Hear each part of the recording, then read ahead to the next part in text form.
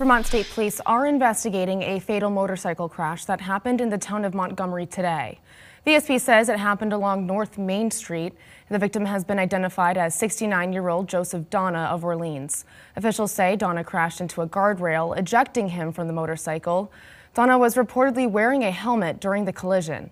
VSP ruled out speed and impairment as factors in the crash. They're asking anyone who may have witnessed it to call the St. Albans Barracks.